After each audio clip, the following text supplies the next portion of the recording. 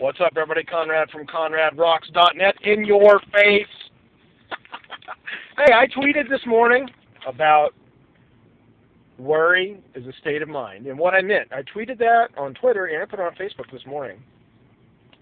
And uh, what I was intimating was that worry is our perception of circumstances. Our circumstances don't dictate whether we worry or not. It's our perception. I've been very wealthy and worried. you know, so our circumstances don't necessarily dictate our worry. Now, one of the things about the Spirit of God is He works this way. I just got out of church. That's the title of the sermon. Be anxious for nothing.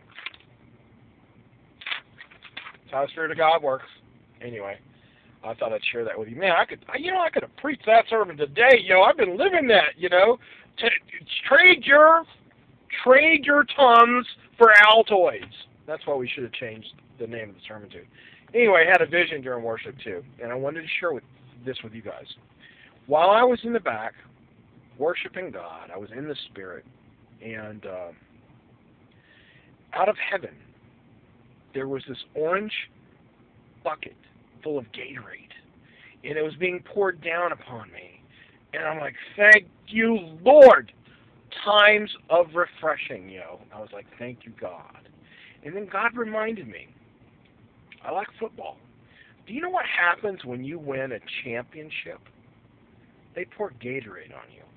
So not only are we going to have times of refreshing, we're going to be victorious. Amen. I just wanted to share that with you guys. I love you. Anyway, oh yeah, check out my book, Open Your Eyes: My Supernatural Journey. It's on Amazon. It's not my supernatural journey. It rocks for Jesus. Okay, till we meet again, dig deeper, go higher.